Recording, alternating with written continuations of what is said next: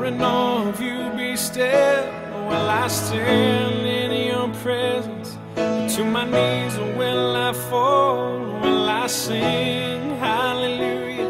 Will I be able to speak at all? I can only bisogno. Amen. Allora, fratelli, oggi vi parlerò, vi parlerò del più grande profeta nato di donna.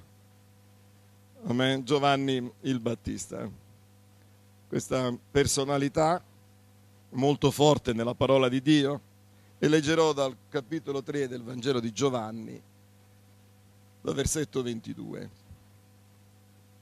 era un uomo che molte volte nei, nei vari eh, film che hanno fatto, molti film sono stati fatti sulla vita di Gesù e chiaramente comprendevano il suo precursore che era Giovanni Battista ed è stato rappresentato in tanti modi, ognuno ha cercato di cogliere un aspetto come anche noi cercheremo questa mattina di cogliere un aspetto di Giovanni Battista, ma andiamo a leggere la parola di Dio e poi vediamo che tipo di uomo era e soprattutto com'era fedele al Signore nell'esposizione della sua parola. Al capitolo 3 di Giovanni del Vangelo è scritto così dal versetto 22, dopo queste cose Gesù venne con i suoi discepoli nel territorio della Giudea e là rimase con loro e battezzava. Ora anche Giovanni battezzava in Enon, vicino a Salim, perché là c'era abbondanza di acqua e la gente veniva e si faceva perché là c'era abbondanza di acqua e la gente veniva e si faceva battezzare, perché Giovanni non era ancora stato gettato in prigione. Sorse allora una discussione da parte dei discepoli di Giovanni con i giudei intorno alla purificazione. Così vennero da Giovanni e gli dissero, Maestro, colui che era con te al di là del Giordano, a, a cui hai reso testimonianza, ecco che battezza e tutti vanno a lui. La prima domanda ci sarebbe da fare mentre leggiamo, ma se lui ha detto che ecco l'agnello di Dio, ecco perché stanno ancora a discutere che battezza o no? Aveva l'autorità di battezzare Gesù. Va bene, ma andiamo avanti. Giovanni rispose e disse loro, l'uomo non può ricevere nulla se non gli è dato dal cielo. Voi stessi mi siete testimoni che io ho detto io non sono il Cristo, ma sono stato mandato davanti a Lui. Colui che ha la sposa è lo sposo. Gloria a Gesù. Amen. Noi siamo di Gesù. Ma l'amico dello sposo che è presente e lode si rallegra grandemente alla voce dello sposo, perché la, questa mia gioia è completa. Bisogna che egli cresca e che io diminuisca. Colui che viene dall'alto è sopra tutti. Colui che viene dalla terra della terra e parla della terra. Colui che viene dal cielo è sopra tutti. Ed egli attesta ciò che ha visto e udito, ma nessuno riceve la sua testimonianza. Colui che ha ricevuto la sua testimonianza ha solennemente dichiarato che Dio è verace. Amen. E noi lo dichiariamo che Dio è vero, è l'unico vero Dio. Amen. Perché abbiamo ricevuto la testimonianza. Infatti, colui che Dio ha mandato proferisce le parole di Dio, perché Dio non gli dà lo spirito con misura. Il Padre ama il Figlio e gli ha dato in mano ogni cosa. Chi crede nel Figlio ha vita eterna, ma chi non obbedisce al Figlio non vedrà la vita, ma l'ira di Dio dimora su di lui. Amen. Queste parole precise chiare proferite per mezzo dello Spirito Santo da un uomo, da un uomo nato di donna, un pare- una parente lontana di Maria, Elisabetta, che partorisce Giovanni da un padre Zaccaria che era vecchio e che riceve questa rivelazione quando si presenta nella tenda per compiere i riti dell'epoca. Quest'uomo che nasce e che cresce all'improvviso, dice al capitolo 3 di Matteo, in quei giorni passano 30 anni, a volte nella scrittura basta un versetto, sono passati 30 anni, perché eh, la scrittura va ai, ai, punti principali, alla testimonianza principale, come se prendesse dei punti per farci comprendere come il piano di Dio si svolge. Ma quest'uomo come viveva? Cosa predicava? Cosa insegnava nel suo complesso? Come annunciava il Vangelo? Perché questo uomo è così eh, un esempio così importante prima di Gesù? Lo sapete che Giovanni Battista insegna a noi come dobbiamo essere quando parliamo di Gesù? Perché in pratica siamo noi, tutti dei Giovanni Battista, che annunciamo. Poi arriva il Cristo e fa lui, amen. Ma è, è, è, è la Chiesa che deve annunziare l'Evangelo, è la Chiesa che deve insegnare l'Evangelo, è la Chiesa che deve, che deve vivere l'Evangelo e che deve testimoniare dell'Evangelo. Giovanni Battista insegna come la Chiesa si deve comportare e con chi si deve confrontare, perché da lui vanno i soldati e gli dicono cosa dobbiamo fare. E Giovanni Battista dà anche delle, delle indicazioni sociali. È vero che vive nel deserto e mangia locuste, tra parentesi, che le mangiano ancora, anche adesso le mangiano dei popoli e gli insetti saranno il cibo di domani, volente o nolente, perché contengono moltissime proteine. Le locuste le mangiano arrostite o le mangiano fritte, insomma, va bene. Quando sono stato in Africa, i miei cari colleghi, amici che vennero con me, in particolare Stefan Bachmann, fu invitato, gli fu presentato dei vermi fritti, cosa che a noi non riusciamo a immaginare, ma per loro sono una squisitezza, e come noi va bene. Ma dobbiamo capire, dobbiamo comprendere che a quelle latitudini alcuni cibi per noi incomprensibili sono gustosissimi. E poi mangiava miele selvatico, lo sapete che il miele ha delle proprietà terapeutiche straordinarie. Il miele fa bene a tutto, fa bene all'intelligenza, fa bene alla gola, fa... è straordinario. Ma non voglio parlarvi di queste cose che a me poi sono un po', mi piace molto parlare di queste cosette, sono un po', diciamo così, mi... preciso, mi piace. Ma voglio dirvi che quest'uomo, nonostante vivesse vestito di cammello e mangiava di questo, di questo cibo, era forte, era un uomo che si confrontava con i soldati, non riscuotete più, entrava nel sociale, andava il popolo e diceva ma noi che dobbiamo fare? Chi ha due tuniche ne dia una, cioè fa del bene alle persone, fai del bene alle persone. È vero, andarono anche gli esattori, quelli delle agenzie delle entrate, da lui. E lui, Giovanni Battista, e sono cose che dovremmo dire noi a loro, dissero non riscuotete più del necessario. Non si mise contro Cesare, perché Gesù cosa disse più avanti? Date a Cesare una coerenza spirituale.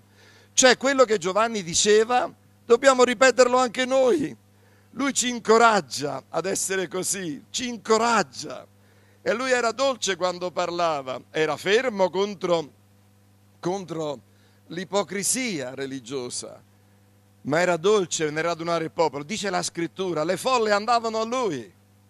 Com'è, fratelli? Quest'uomo nel deserto attirava folle, predicava e dice la scrittura in Matteo che lui annunziava l'Evangelo, evangelizzava, dice un versetto, ed esortava, attirava le folle, parlava con giustizia, con rettitudine di cuore e aveva un cuore per Gesù, era umile davanti a lui, anche se, anche se ricopriva un ruolo di precursore un ruolo importante nella scrittura, anche se aveva ricevuto la rivelazione, ecco, l'agnello di Dio, aveva ricevuto la rivelazione del battesimo con lo Spirito Santo, aveva ricevuto rivelazioni che Dio è verace, lui parlava in modo, ma lui non si, non si sentiva si sentiva sempre indebitore, si sentiva sempre umile davanti al suo Signore, aveva un modo di parlare, un modo di procedere quando andarono a parlare con lui, lo volevano provocare. Ma quello che tu hai testimoniato sta battezzando pure lui, come a dire, come mai ma che state, eh, state in competizione? Facciamo a chi battezza di più. Va bene, andarono proprio lì per dire, i discepoli erano, se, se notate, la scrittura a volte è come dei flash, erano discepoli di Giovanni, gli stessi che poi si unirono ai farisei, ma alcuni dei discepoli di Giovanni erano straordinari. Giovanni l'Apostolo, Andrea. Andrea andò a parlare a Pietro suo fratello. Giovanni, voglio dire, non tutti quelli che stavano vicino a Giovanni Battista capivano Giovanni Battista, però quelli che capivano, capivano anche Gesù. Quelli che non lo capivano, non capivano Gesù. È incredibile. E dice la scrittura, i discepoli di Giovanni, non esiste i discepoli né di Riccardo, né di altri nomi della scrittura, né di John Wesley, né discepoli di altri servitori del Signore che adesso sono viventi esistono solo i discepoli di Gesù. Amen? Non vogliamo noi avere dei discepoli, anche se per un tempo dovete seguire i servitori del Signore, perché così è nella parola di Dio. Dovete, ma, a un certo punto è come quando il figlio si sposa, fuori, deve andare, deve formare la sua famiglia, deve avere le sue responsabilità, deve rispondere a sua moglie e deve condurre una famiglia. E quindi piano piano dopo che si è stati vicino ai servitori del Signore, bisogna arrivare a Cristo. Ed è quella la strada che indica Giovanni Battista. Ed è quella che non ha dubbi alcuno, è preciso nell'indicare. Non dice fate come dico io, lui indica una strada.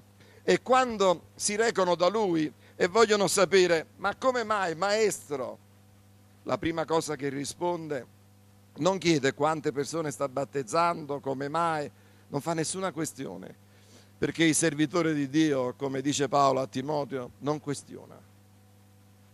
Non, noi non questioniamo, noi non abbiamo bisogno di questionare, noi annunciamo che Gesù è vero, che Gesù è andato sulla croce, che ha dato la sua vita, che Gesù ci ha trasformato, che amiamo Gesù e che abbiamo bisogno di Lui tutti i giorni. Amen. Io ho bisogno di lui tutti i giorni. Io mi sento importante allo, allo stesso tempo non mi sento importante. Mi sento importante perché ho Gesù e così devi sentirti anche tu. Ma allo stesso tempo non ti devi gonfiare, ti devi sentire servitore, servitrice dell'umanità per la grazia che hai ricevuto. Noi non dobbiamo ostentare una fede, dobbiamo vivere la fede. E Giovanni Battista rappresenta un grande esempio di noi e dice l'uomo non può ricevere nulla se non gli è dato dal cielo. È Dio che gli ha dato questo. Quindi se lo sta facendo, se il Signore glielo permette, amen. E soprattutto ognuno di noi ha un raggio d'azione nella nostra vita. Dio ci dà sempre qualcosa e dobbiamo vivere e testimoniare di quello che Dio ci ha dato ogni giorno della nostra vita. E poi lui ribadisce, perché coloro che erano andati da lui, io mi sono domandato come mai Giovanni dice un'altra volta io non sono il Cristo per forza volevano farlo Messia. Per, per, forza volevano che Giovanni Battista si dichiarasse una persona importante, non plus ultra. Per forza, sapete, dichiararsi Messia significa che tu devi fare assolutamente quello che il Messia ti dice, come dobbiamo fare assolutamente quello che Gesù ci dice. Ma quando un uomo si dichiara, prende questa responsabilità di dire queste cose, è grandissima. E poi soprattutto lo mette su un piedistallo. Ma Giovanni Battista lo sapeva perfettamente. E ognuno di noi dobbiamo comprendere che nessuno di noi è il Messia. Nessuno di noi, anzi la scrittura ci induce, ci incoraggia ad esaminare la parola di Dio ogni qualvolta viene qualcuno e ci dice qualcosa. La scrittura ci dice non c'è niente di nuovo sotto il sole. E i bereani negli atti degli apostoli insegnano ad esaminare la parola di Dio. Se io vi dicessi qualcosa e qualunque cosa io vi dico, siete pregati di andare a perché la parola di Dio è verità. La parola di Dio è vera, è autentica, è Dio sovrano che ha curato la sua parola. Nessun uomo può venirci a dire o nessuna donna cose strane. Sapete perché, fratelli? Perché appena parla qualcuno, io è come se avessi lo schedario e vorrei che anche voi aumentaste il volume del vostro schedario. La prima cosa che dovete, dovete ognuno di voi, che la Chiesa deve fare, appena qualcuno che non conosciamo, subito brrr, come la chiave biblica, la Bibbia che dice, la parola che dice. Non dovete bervi tutto, non dovete stare lì, no, la parola di Dio cosa dice? La parola di Dio cosa dice? Perché essa è maestra di, di vita. Giovanni Battista fece lo stesso. Io non sono il, il Messia, io non sono il Cristo, ma sono stato mandato davanti a Lui. Amen. Voglio fare una domanda anche a voi. Siete stati mandati davanti a Lui? Lo sai che quando è venuto qualcuno a casa tua, Roberto, è il Signore che l'ha mandato a casa tua? Amen. Però non facciamo parte, non siamo il Messia, ma facciamo esattamente quello che ha detto Giovanni Battista. Lo sapete, fratelli, che quando sorelle, quando andate a casa di qualcuno, quando andate a visitare qualcuno, quando parlate, ormai si parla con la video adesso perché c'è questo impedimento, si usano le videochiamate, ma quando parlate con qualcuno è il Signore che vi sta dicendo di parlare e che dovete annunziare le, eh, la, la parola di Dio, la salvezza. Dovete dire a tutti che il Signore è presente, che è sovrano su tutti e che non c'è nessuno più grande di Lui. Amen. E che questo tempo che stiamo vivendo, benché sia triste per certi aspetti, perché ci ha tolto l'abbraccio, ci ha tolto il sociale, ma nessuno ci può togliere la nostra comunione con Dio. Nessuno ci può togliere l'abbraccio eterno che il Signore a ognuno di noi dà tutti i giorni della sua vita, tutti i giorni della nostra vita. Dio è con noi. Amen.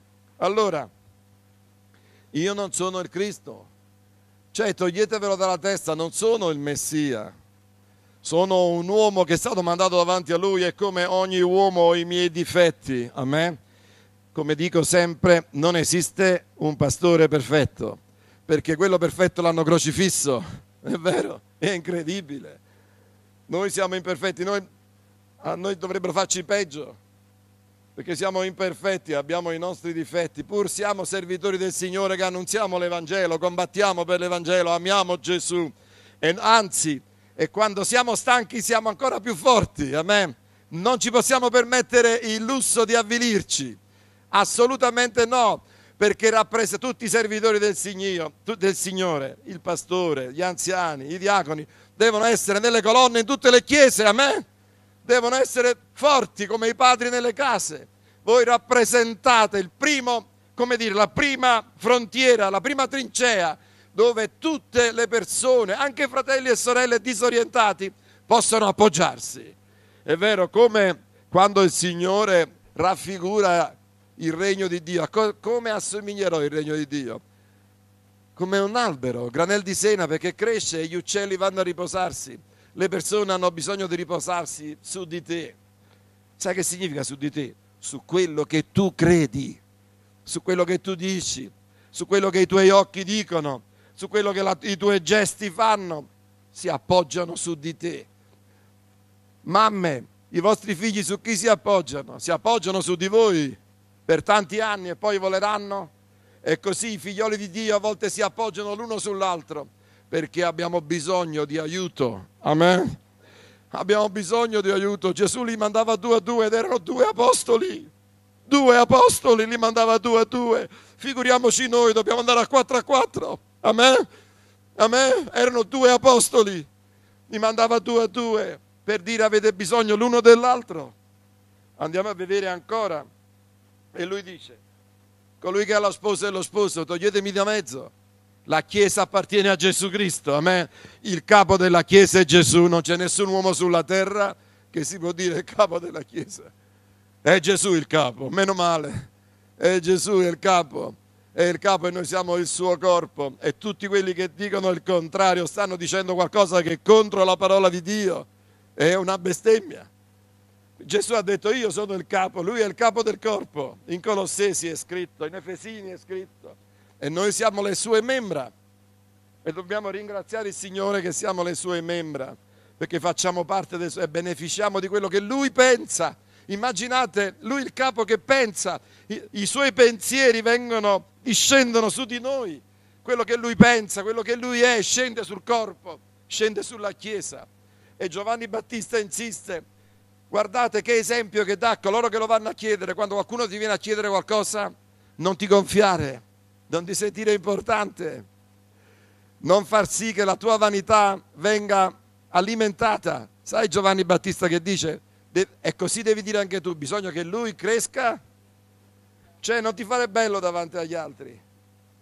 Io so cosa significa farsi bello davanti agli altri, ma non è questo, bisogna che lui cresca e che noi diminuiamo, perché attraverso di noi, questo non significa che noi dobbiamo starci qua sotto o dobbiamo scomparire, significa che la presenza del Signore, i suoi caratteri, devono essere così presenti nella nostra vita che i nostri scompaiono. Semplice, a me.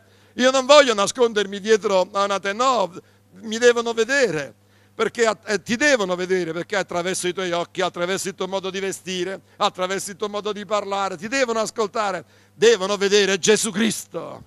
Amen, devono vedere Gesù, devono poter dire, senti, può darsi sono un poco scombinati, sono un poco, però si vede che hanno qualche cosa di più. Amen, amen. Questo devono dire, quella è la testimonianza che deve scendere, questo è quello che devono dire di noi bisogna che egli cresca e che io diminuisca. E poi dice qualcosa che non fa piacere mai a nessuno.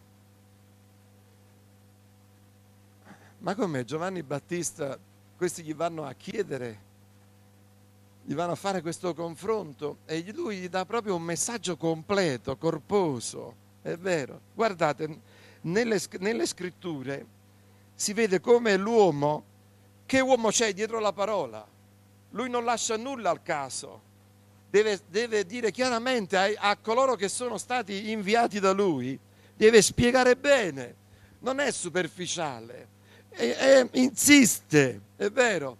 Chi dice così, guardate, colui che viene dall'alto è sopra tutti. Lui attesta che Gesù è venuto dall'alto, dall'alto e poi dice, colui che dice, aspettate, ed egli attesta ciò che ha visto e udito. Cioè Gesù parla di suo padre e attesta ciò che ha visto e udito. Dice nessuno riceve la sua testimonianza. Quasi c'è un dolore nel cuore di Giovanni. Dice, perché non ricevete la sua testimonianza? Perché non capite chi vi ho presentato? E quando noi presentiamo Gesù Cristo e ci dispiace un po' che le persone non capiscono all'inizio, ma dobbiamo avere un po' di pazienza ma immaginate in una mente aggrovigliata dalle tenebre, piena di spine, piena di ragionamenti tutto al contrario, come eravamo noi. Arriva la luce, è, è impossibile che si ordini subito, è impossibile, è impossibile, è naturale che la salvezza arriva subito. Invece dopo il Signore ti prende come un bambino e piano piano ti fa crescere nelle sue mani e ti fa cambiare il tuo modo di pensare. Viene mamma, dice, la, dice il Salmo 29, la voce dell'Eterno sfronda le selve. Sapete che sono le selve? Qua dentro. Le sfronda, cioè le apre. Le apre piano piano. Dobbiamo avere pazienza con tutti per piano piano dare luce e aiutare perché qualcuno l'ha fatto a me, qualcuno l'ha fatto a te e tu devi farlo agli altri. La pazienza del Signore. Amen. E poi dice, colui che ha ricevuto la sua testimonianza ha solennemente dichiarato che Dio è verace. Quando noi abbiamo ricevuto Cristo, la prima dichiarazione, anche se non l'abbiamo fatta, anche se non è stata una dichiarazione annunciata, è che abbiamo detto che Dio è. Amen. Noi crediamo in Dio, perché per credere in Gesù Cristo noi dobbiamo credere per forza in Dio. E di conseguenza, noi nel ricevere Cristo, quando abbiamo ricevuto Gesù, e se tu questa mattina vuoi ricevere Cristo, stai dicendo che Dio è verace, che Dio è l'unico vero Dio, che non esistono altre divinità. E Giovanni Battista conclude dicendo, una fa all'ultimo lo dice, ma lo dice proprio, poteva, qualcuno potrebbe, ma perché non si è fermato qua? Perché Dio non gli dà lo spirito commisso. Perché non si è fermato qua? Perché non bisogna fermarsi qua. Non bisogna fermarsi al versetto 34, perché altrimenti non, abbiamo, non sentiamo l'urgenza e soprattutto non sentiamo la gioia da dove siamo stati liberati. Altrimenti noi perdiamo la gioia di essere figli di Dio se non comprendiamo che siamo stati trasportati dalle tenebre alla luce e che l'ira di Dio è su tutti coloro che rifiutano Gesù Cristo, indipendentemente da essi di quale nazione, popolo, tribù siano. Guardate Giovanni cosa dice. Il Padre ama il Figlio e se amiamo Gesù siamo amati da Dio e gli ha dato in mano ogni cosa. Chi crede nel Figlio, allora non facciamo troppi ragionamenti. Se quella è una brava persona, se quella, sapete, tutti questi ragionamenti che io non comprendo, io comprendo la parola di Dio. La parola di Dio dice chi ha il figlio ha la vita eterna. Fratelli, sorelle, amici, ce l'hai il figlio, ce l'hai Gesù nella tua vita e ricordati, hai la vita eterna, a prescindere. Ma io sono ancora, ancora non capisco, non ha importanza. Hai cominciato questo percorso, già da quando hai cominciato questo percorso sei salvato. Non è che devi finire il percorso per essere salvato, se no buonanotte, e chi si salva, fratelli? La salvezza è un dono di Dio in Cristo Gesù e quando l'abbiamo ricevuto noi siamo stati salvati. Alleluia! Ora questa grande salvezza la voglio vivere, la voglio esprimere. Cadrò, cadrò. Mi, mi rialzerò. Il giusto cade e si rialza sette volte. Amen. Avrò miei, le mie crisi, avrai le tue crisi, avrai i tuoi momenti difficili, ma Dio sarà vicino a te. E colui che ha cominciato un'opera in te, non c'è niente da fare, la porterà a termine. La porterà a termine. Chi ha il figlio ha la vita eterna. E poi dice una parola che, guardate fratelli, io vorrei che da tutti i pulpiti, da tutti i pulpiti cristiani, si ricordassero di quello che ha detto Giovanni Battista che dobbiamo dire noi sempre. Chi? Ma chi non ubbidisce al figlio. Non sta dicendo chi va dietro a una processione o chi si veste in un modo santo o chi si fa la comunione o chi fa la messa per i morti o chi si sposa in chiesa. No, non sta dicendo questo, sta dicendo chi non ubbidisce al figlio. Ma è chiaro o no? O lo vedo solo io? Il desiderio di ubbidire al figlio, di ubbidire a Gesù, dovrebbe essere parte integrante e piacevole della nostra vita, perché il bene che lui ci ha fatto, è vero, è, è qualcosa talmente caro alla nostra vita che desideriamo ascoltarlo Ah, desideriamo onorarlo, riverirlo. Chi non ubbidisce al figlio non vedrà la vita. Ci dispiace, ci dispiace, come non ci dispiace, ma è la verità, è la verità. Chi non ubbidisce al figlio non vedrà la vita, ma l'ira di Dio. Guardate come dice la parola. Metteteci il verbo, coraggio, ma l'ira di Dio, leggetelo. Vedete? Com'è? dimora. Cosa significa? Che l'ira di Dio vive nell'ira di Dio. Considerate, fratelli, questo. Da un lato ci dobbiamo rallegrare perché anche noi eravamo così. Dobbiamo dire Signore grazie, grazie Gesù che mi hai liberato dall'ira di Dio. E grazie perché mi hai salvato e grazie perché non meritavo questo. E Signore ti voglio ringraziare ogni giorno della mia vita dall'altro lato dobbiamo avere compassione per chi non ha il Signore, ma la compassione non deve essere diluita, da, non deve essere diluita, non bisogna togliere la parola di Dio. No, la compassione è proprio questo. Fratello, amico, marito, moglie, figlio, salvati. Hai bisogno della salvezza.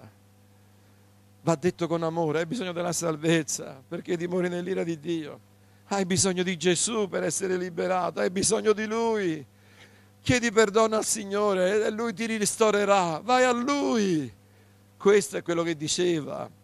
Almeno, diciamo, eh, do un'interpretazione di quello che sento, quello che diceva Giovanni Battista, è quello che dobbiamo dire agli altri e tenere presente nella nostra vita se amiamo i nostri cari, oltre a tollerarli, a combatterli, a fare questioni come è normale che sia, dobbiamo dire anche loro, guarda, non pensare come pensano tanti. Uno dei pensieri del diavolo lo volete sentire? Siete sicuri? Sapete il diavolo cosa pensare? No, io poi faccio, faccio come il ladrone sulla croce, all'ultimo a tutto mi pento. Questo è un pensiero satanico, sai perché? Dio non ti darà nessuna possibilità. Stai dicendo che la salvezza dipende da te, non dipende da te, dipende da Dio. E se in questo tempo tu hai ricevuto un, una chiamata da parte del Signore è tuo dovere rispondergli, perché Dio in quel momento non ti darà nessuna possibilità. Non sei tu a avere il mazzo di carta in mano, scusatemi l'espressione, ce l'ha il Signore. Ed è in questo tempo di grazia che ogni uomo, ogni donna, ogni fanciullo, ogni adulto, ognuno con i capelli bianchi come me, può fare solo una cosa. Signore, abbi pietà di me. Ma come mi piace dirlo! Come mi piace dirlo, Signore, grazie che hai avuto pietà di me. Continua ad avere pietà di me, perché io ho bisogno del tuo amore. Pietà non significa quello che intendiamo noi, pietà significa amore di Dio. Amen. Sia benedetta la sua parola.